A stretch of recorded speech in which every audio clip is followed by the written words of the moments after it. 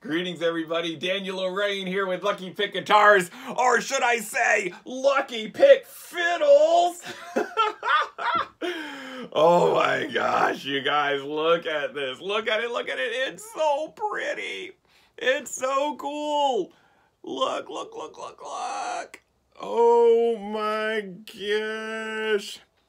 Oh, dude, I, I, I don't think I've ever been prouder of myself. Uh, this thing is so stinking cool, man. I am very excited. Okay, now uh, let's go ahead and talk about it a little bit. Now, what I did was um, I had um, I had seen these boxes before, and the first time I thought I saw one, I'm like, hey, that might make a good cigar box violin sometime in the future. Uh, when I was doing, you know, in my in my tens and even teens in the builds, you know, and so um, so I have one or two of them laying around, and I kind of kept them aside for a violin build.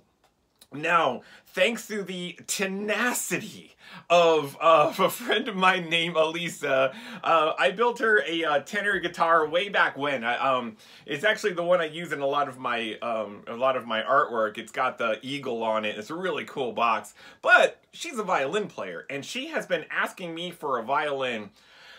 Uh, for months, months and months. And I'm just all like, no, I'm not ready. No, I'm not ready. But, um, you know, I'm like, you know, build 70 is coming up and that is um that is what this one is. This is build number 70, but I named it V1 because this is the first violin I've ever made. I watched a lot of videos, I looked at a lot of diagrams, and um, I ordered in blank parts. So I wanted a nice violin scroll. So I ordered a blank scroll. If you look at the pictures, you'll see the old blank scroll, um, the blank neck. Um, it came very rough, um, but it had the basic shape.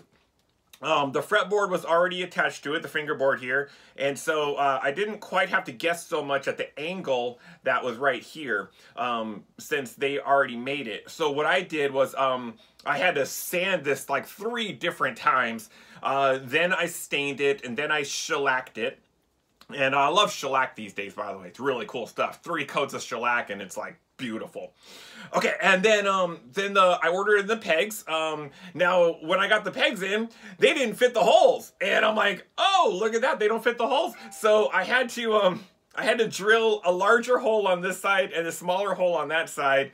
And then I had to get my rat tail file and kind of file the whole thing down until the pegs fit nice for a compression fit like they do and um and that worked and then there was no hole in the peg either so i'm like oh crap is there supposed to be a hole in there um so once again watch some more videos i am not a violin player and yes, there is supposed to be a hole in the peg. So I got a drill and I drilled a hole in the peg, watched a bunch of videos on how to string a violin, and um, and eventually I got there. Um, then I got uh, the the the bridge. Okay, so this bridge just comes the almost a big chunk of wood. It's a blank bridge. I didn't know anything about that either. So, more YouTube. Thanks all the YouTube people for supplying me with knowledge on how to cut and shape a bridge. I think I did a pretty good job. Um, maybe the G string is a hair high, but the E string is super low and it plays really, really nice. Um, and then I also got with the with the pegs, I went ahead and got um, the uh, the chin rest, the tail piece, and the little plug down there. And um, so these were the things that I just couldn't make myself, so I ordered them, and uh, and they came in. Um, and then it was just a matter of reinforcing and cutting the box. So if you can see inside the box, um, I actually did the the thing. I've got I've got a sound post in there. Um, this box was pretty good. It had a nice thin top and, and um, bottom, but the sides were very strong. And so I saw somebody else make these cuts on a box on YouTube, and I'm like, hey, that's really cool. And it's exactly four and a half inches from here to here, which is the same um, diameter or width that a regular violin is. And um, and it came out really, really cool. I glued an extra piece of oak on the back uh, as a st stability, and then on the inside part, right inside of here, I have two oak slats that the neck piece is um, glued and then even screwed down into, and I sunk that in so it's nice and smooth.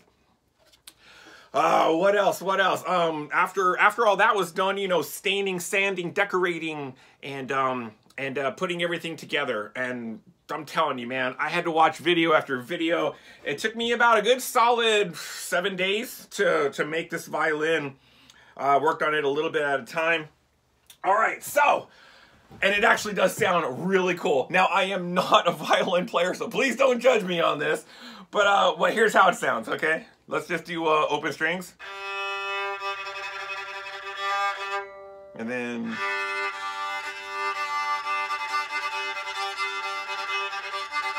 Yeah, that's the D and the G.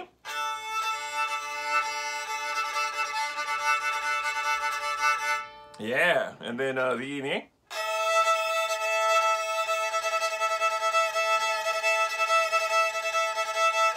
Yeah! so this thing is really cool. I'll try to do a scale for you.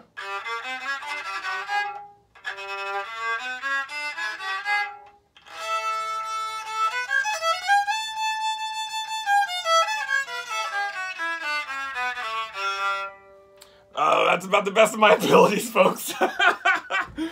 um, I was really hoping I could I could come across a violin player somewhere here in Texas. I'm sure they're out there, but I just don't know any. Um, everybody's uh, in different states right now, and so um, you know, I just don't have anybody to, around to play it.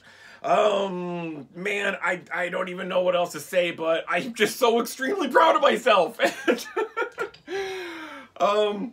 I've got a couple more people uh, on the list uh, that have re requested violins from me. Um, I don't know, it reminds me of something that you would have like aboard ship or something, you know? It's just, it's so stinking cool, man. I just love it.